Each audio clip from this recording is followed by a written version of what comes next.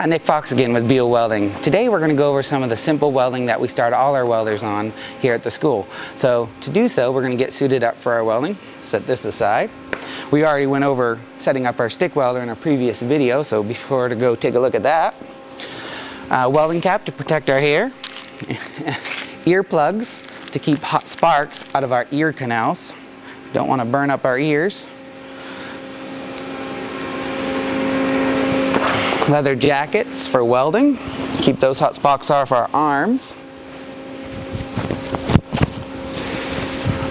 We have our fixed shade welding hood with a number 10. That's what we recommend for stick welding. It's the correct shade number to protect your eyes from the UV rays that are going to be produced. Our stick welding gloves, again, to protect our hands from the intense heat produced from stick welding.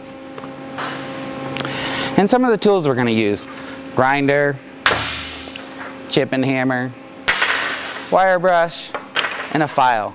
File's a really good pipe welding tool, but it helps getting the slags out of the toes of our welds. We use Bohler 7018 stick rod here in the shop. It's a great running rod. And we're gonna start off with our eighth inch 7018 low hydrogen electrodes and put them in our stinger. We start all our welders off doing flat pads um, for righties, we have them weld from left to right.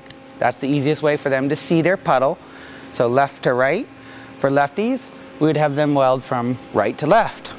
Obviously, we want them to be able to do both, but we start them in the easiest way possible for them to learn fastest. Um, we'll weld from near to far, far to near, left to right, and right to left. And then I encourage my students also to work their left hand as well. So when they're welding pipe later, they're better suited for pipe welding in 6G position. All right, here we go. We're gonna do scratch start.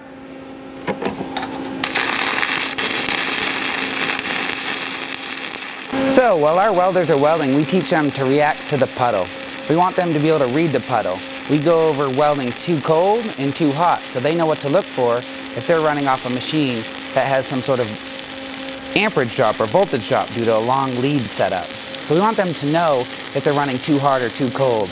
We don't want them to get stuck on one amperage setting. Oh, I need to weld at 124 amps. All machines are acting a little different.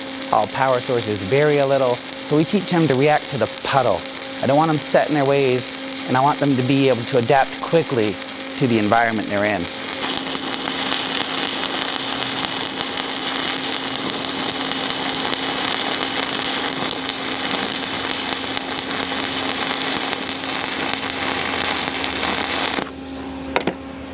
All right, that's a 7018 stick bead. Throw our subs right in the stub bucket for easy cleanup. We'll go over some different positions in another video. Thanks for following. Please like, share for more videos.